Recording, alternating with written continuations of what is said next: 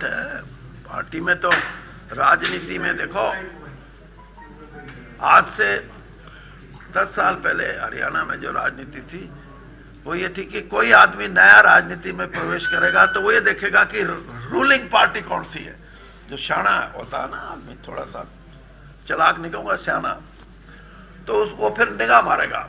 उसके सामने आएगी कांग्रेस। दस साल पहले की बताता हूँ। कांग्रेस में मामला जमता नहीं, फिर आएगी। वो कौन सी पार्टी है? नहीं लोकदल इनेलो। इनेलो आएगी।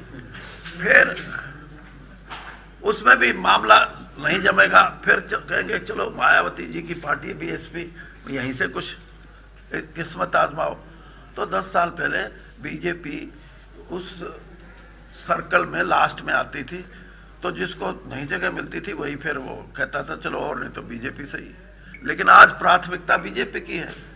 क्योंकि आज बीजेपी ने सबकी छुट्टी कर दी।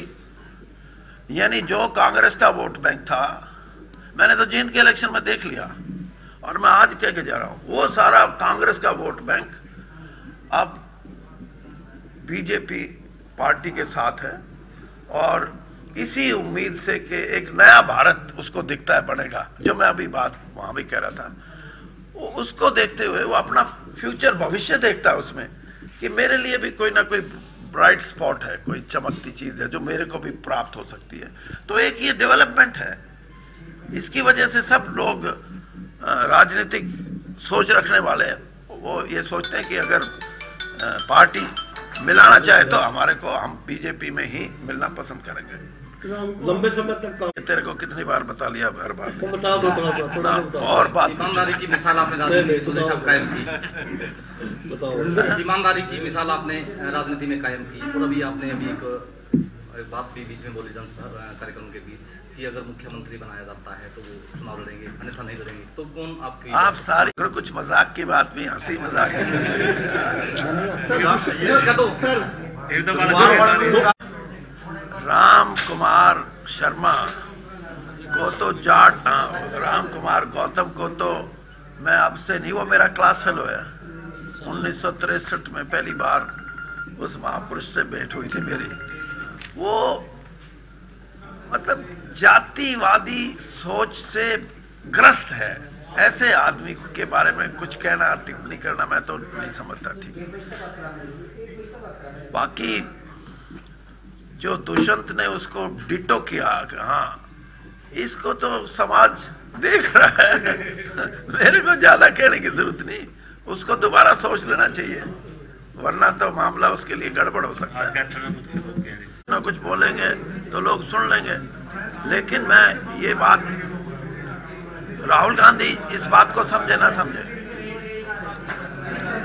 निरपेक्ष में करते हैं उनको तो किसी ने बताया होगा लेकिन मेरी व्याख्या ये है कि पहली बार इस देश की किसी सरकार ने या इस देश के किसी प्रधानमंत्री ने इस चीज़ को देखा कि खेती और किसान ये दो अलग अलग आइडेंटिटीज हैं।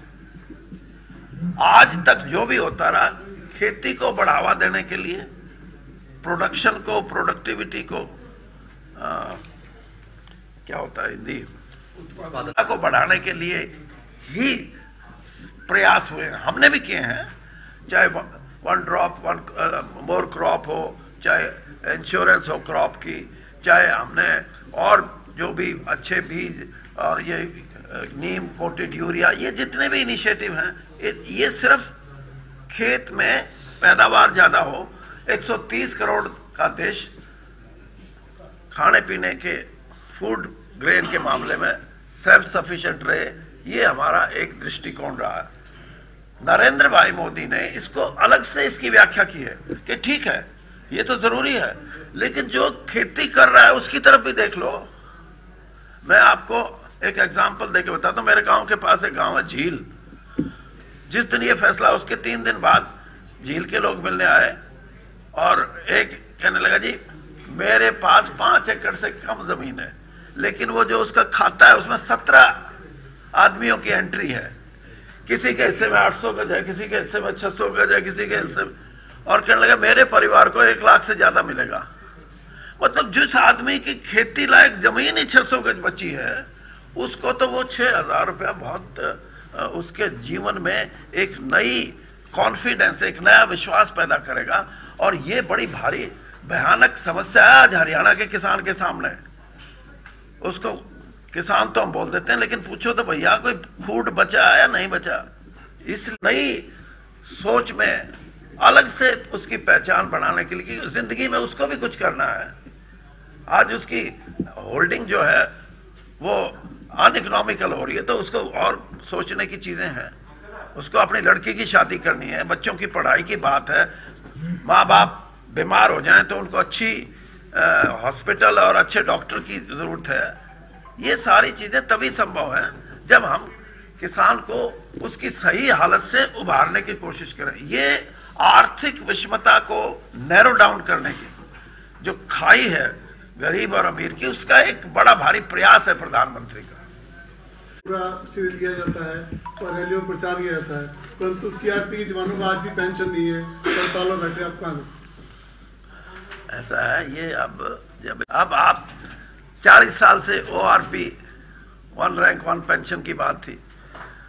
हमने उसको करके दिया।